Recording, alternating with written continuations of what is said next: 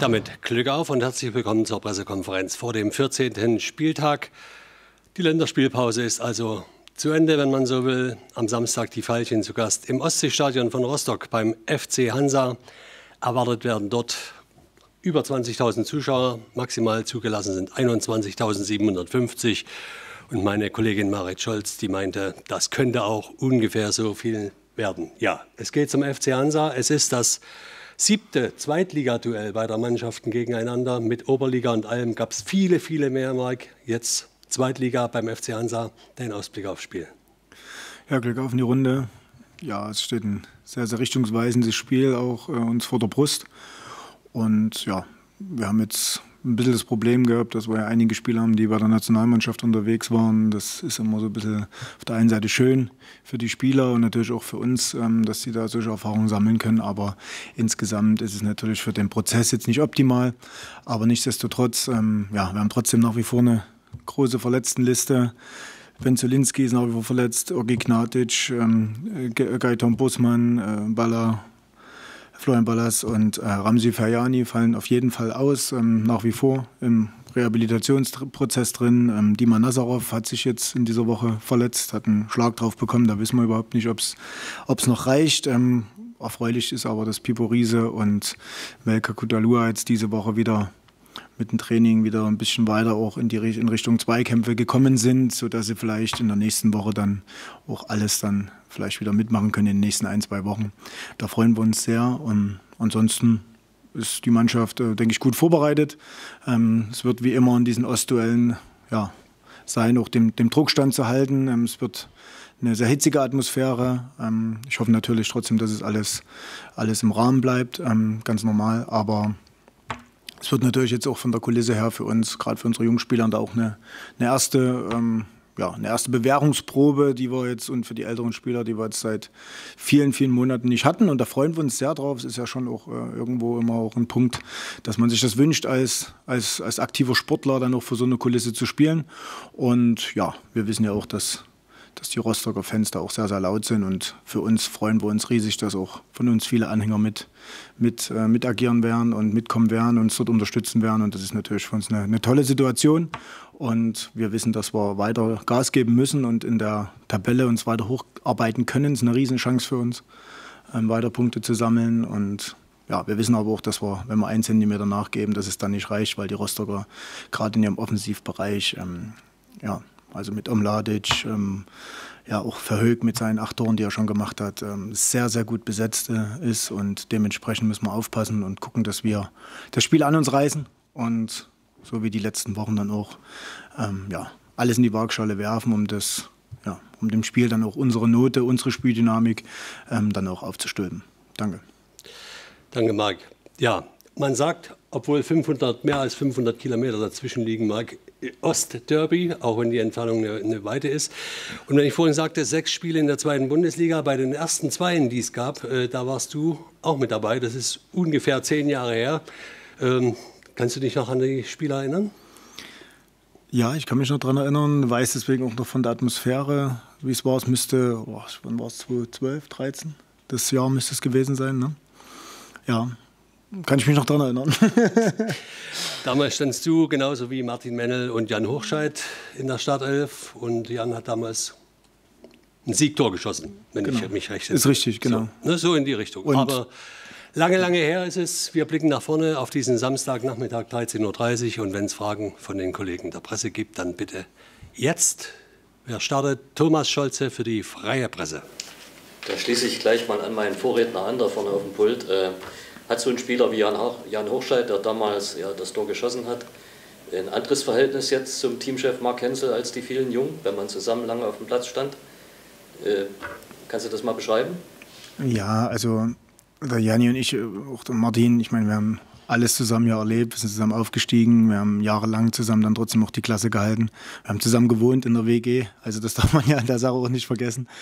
Ähm, das ist schon was Besonderes. Und äh, gerade der Janni ist ja damals aus dem Nachwuchs hochgekommen, wo ich mit nach Cottbus bin. Also wir haben halt auch wirklich unsere, unsere fußballerische Laufbahn auch gemeinsam gestaltet. Und natürlich ist das was ganz, ganz Besonderes, worauf ich auch äh, sehr, sehr stolz bin. Ähm, nichtsdestotrotz geht es halt im Fußball trotzdem darum, wenn ich jetzt in dieser Position bin, auch immer in allen Bereichen immer auch ähm, gerecht zu sein und eine Vorteil zu sein. Und ich glaube, dass das jeder von mir auch weiß, dass ich das absolut trenne. Den zwischenmenschlichen Bereich, wo wir eine super Beziehung haben, natürlich auch eine Freundschaft haben über die Jahre, ist ja ganz normal. Ähm, und natürlich dann trotzdem auch den sportlichen Bereich, weil da bin ich ja dann trotzdem ähm, auch immer dann trotzdem gerecht und auch das hängt natürlich auch alles, ist alles von der Tagesform abhängig. Aber der Jani ist natürlich auch ein Spieler, ähm, über den wir auch sportlich jetzt mal fernab von meiner Beziehung zu ihm unglaublich dankbar sind, dass wir ihn haben, weil er, und das hat er auch jetzt in den letzten Wochen wieder gezeigt, auch wenn er sicher noch nicht auf dem Stand aufgrund seiner Verletzung ist, ähm, wie wir wie wir ihn kennen, aber sein, sein, sein Genie kommt ja trotzdem immer wieder durch. Und äh, das ist das, äh, was wir, worauf wir uns riesig freuen, dass wir ihn in unseren Reihen haben. Ja, okay. Ein Spieler, der letztes Jahr noch hier in den Reihen war, ist jetzt ein Leistungsträger in Rostock. Hättest du den äh, Calogero noch gern hier und wie beurteilst du seine Entwicklung jetzt? Ja, ich freue mich ähm, für den Rizzi natürlich sehr, dass er jetzt dort äh, sofort ähm, ja, auch angekommen ist, sich auch wohlfühlt, wenn man den Zeitungsartikel glauben kann, die da jetzt die Tage reingeflattert sind. Ähm, ja, der Rizzi ähm, ist ein sehr, sehr verdienstvoller Spieler hier, ein wunderbarer Mensch, ähm, habe ich auch immer so, so gesagt. Ähm, aber nichtsdestotrotz gab es ja trotzdem Gründe, warum das am Ende des letzten Jahres dann eben ja, nicht weitergegangen ist für ihn. Und da gab es halt auch, wie gesagt, auch anscheinend auch gewisse Sachen, die im Hintergrund gelaufen sind. Ähm, aber da brauchen wir jetzt überhaupt nicht äh, drüber, drüber reden. Ich freue mich sehr, dass er sich dort äh, so toll entwickelt hat, weil er wirklich, ich habe ein sehr, sehr gutes Verhältnis immer zu ihm gehabt. Ähm, schätze ihn auch sowohl als Mensch, wie gesagt, als auch als, als Fußballer sehr. Ähm, und er soll seinen Weg ruhig weitergehen, aber jetzt am Sonnabend geht es trotzdem für uns darum, dass wir auf uns gucken und ähm, versuchen, alles in die Waagschale zu werfen, um dort äh, Punkte zu stehlen.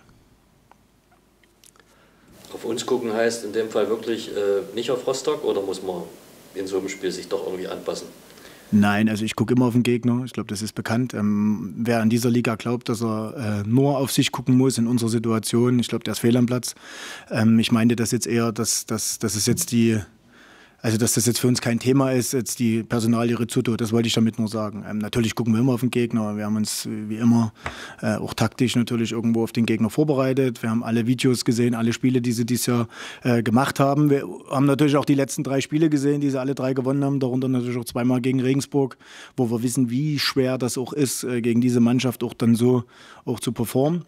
Und das haben sie sehr, sehr gut gemacht und deswegen sind wir absolut gewonnen. Also man spielt jetzt trotzdem äh, in diesem Bereich nicht drei äh, Siege hintereinander. Ähm, das muss man schon sagen. Deswegen stehen sie zu Recht mit den 17 Punkten dort, wo sie stehen.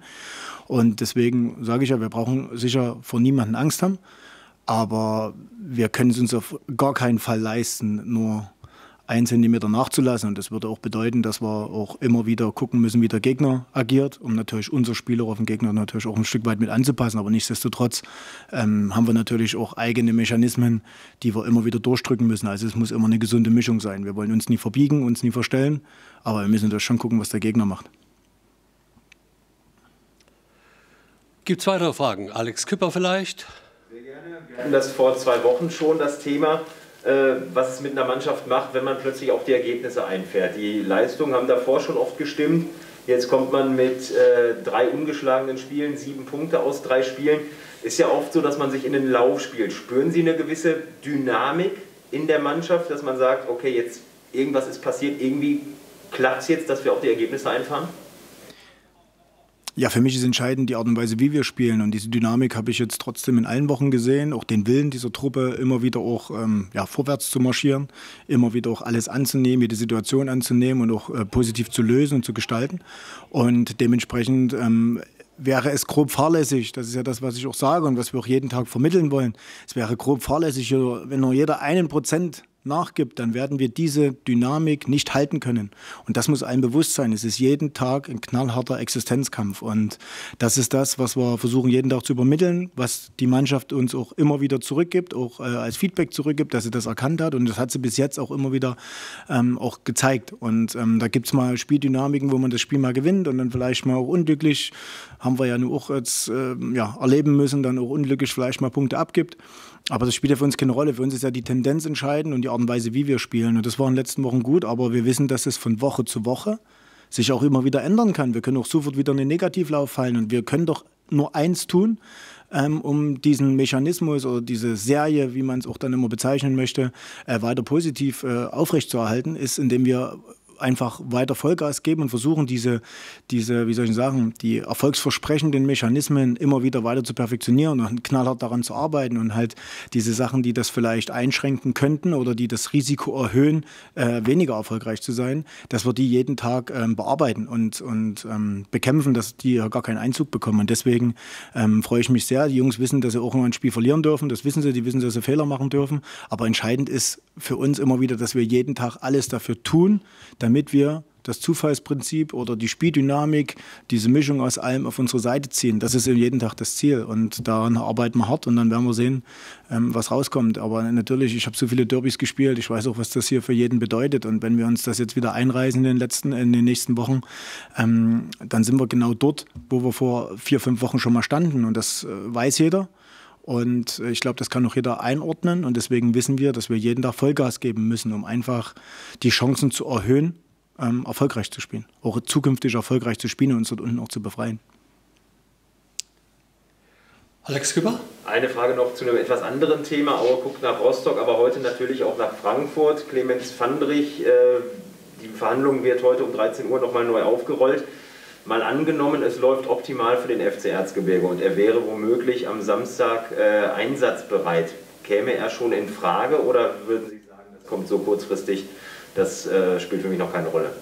Ja, also wir freuen und würden uns sehr freuen, wenn das äh, so ausgeht und dann wäre er auf jeden Fall eine Option für einen Kader. Also das ist ja ganz, ganz normal. Aber wer jetzt wo in welcher Konstellation spielt, ähm, das würde ich erstmal mit den Spielern dann besprechen den Bus, so wie er sich gewünscht hat. Na, absolut, na klar, wir freuen uns sehr, wenn der Fanny wieder da ist. Also auch spielberechtigt ist, da ist er ja, aber wenn er wieder spielberechtigt ist, ist ein ganz, ganz wichtiger Mann für uns, das wissen alle. Das habe ich auch immer ganz klar so kommuniziert. Und ähm, wir erwarten schon da heute auch eine, ein, ein, positives Ergebnis und würden uns sehr freuen, wenn er morgen mit dem Bus einsteigt. Das heißt, er ist gar nicht mit dort, wenn er hier ist jetzt? Zum nee, doch, doch, er ist dort. Er ist dort. Ja, also er meint die letzten okay. Tage jetzt okay. war er beim Training ganz normal. Ja, Thomas Scholz noch. Okay. Eine Frage noch, überall fallen jetzt wieder die Spieler aus wegen Corona-Fällen und so weiter. Wie bekommt ihr denn das hin, dass ihr da gar nicht auffällig seid in letzter Zeit? Ja, wir, wir freuen uns eigentlich jeden Tag, den wir, den wir so, ich sage jetzt mal, überstehen. Ähm, das ist natürlich schon im Moment eine schwierige Situation. Ich glaube, in allen Teilen der Gesellschaft. Und wir hoffen natürlich, dass es so bleibt, wie es jetzt ist. Das war ja nicht immer so. Ähm, wir hatten ja auch Phasen, wo, es, wo wir auch Fälle hatten. Und dementsprechend kann das auch jeder einordnen, ähm, wie schwierig diese Situation noch ist. Aber wir können uns nur versuchen, alle an unser Hygienekonzept bestmöglich zu halten und hoffen, dass wir, dass wir da ähm, ja, durchkommen. Darfst du sagen, ob die Spieler alle geimpft sind hier oder ist das geheim? Es sind fast alle geimpft. Es sind fast alle geimpft, aber wer jetzt da nicht geimpft ist, möchte ich ungern hier kommunizieren. So, gibt es weitere Fragen? Die gibt es nicht. Dann starten wir weiter in die Vorbereitung des Ostderbys beim FC Hansa Rostock. Mike, dir, deinem Team, eine gute Vorbereitung, auf dass wir uns eine steife Prise erwartet am Samstagnachmittag und dass am Ende ein Erfolg zum Buche steht für uns. Danke, Mark Hensel, unserem Teamchef. Das war's für heute. Glück auf. Danke, Glück auf.